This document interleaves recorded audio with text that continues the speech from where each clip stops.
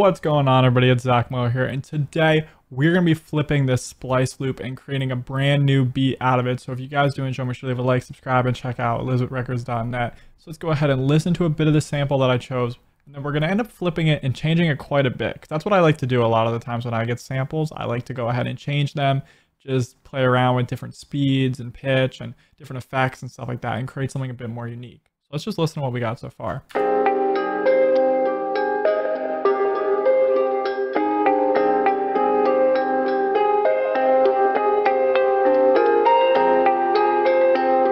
It's cool. I put it in double time. It's usually 100 BPM. I made it 200, but we're going to end up slowing it. We're going to put it to like 160 maybe.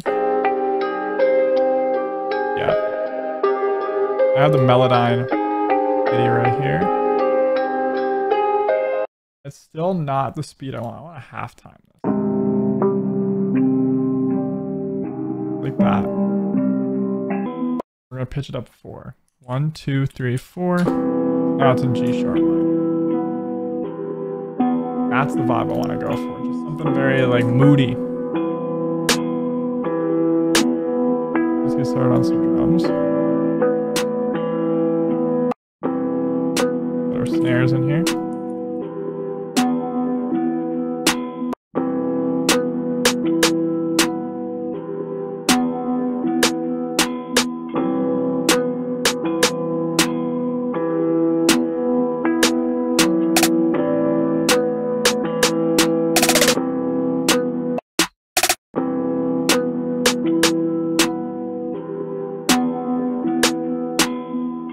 Snare roll there.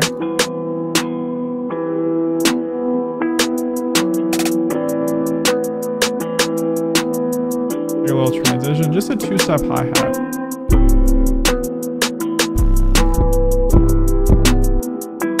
One of my favorite 808s, the Go 808 from one of my kits. Just started on trying to find like a nice sounding 808 pattern. Now by having the Melodyne MIDI, makes it a little bit easier to actually create like a pattern. That sounds good.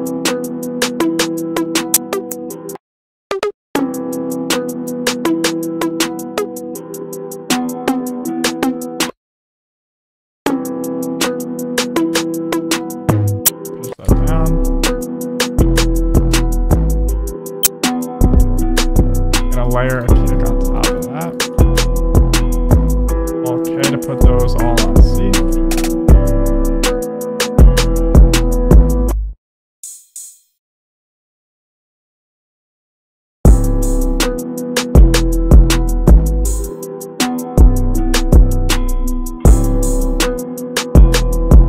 Just play around the velocity of the second here.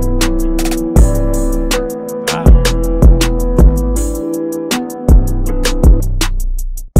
That. A good drum bounce now it's just leveling out everything, get it to be leveled where it needs to pull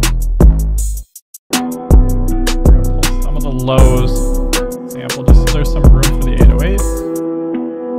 Now it's on the arrangement. Like when it comes to flipping this one, we just put some halftime on it, pitched it up a bit, and changed the tempo. Like sometimes you don't have to do as much. Sometimes I do like layers of different effects on my sample flips. Like occasionally I'll put, you know, different chorus plugins or RC20 or different stuff like that sometimes. And then sometimes you don't need to do as much. It's just whatever you need to do to get the vibe out, you know?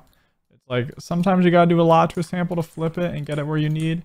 Chop it up and reverse stuff and pitch it crazy and other stuff. And sometimes all you got to do is this. That's going to be the hook. Reverse.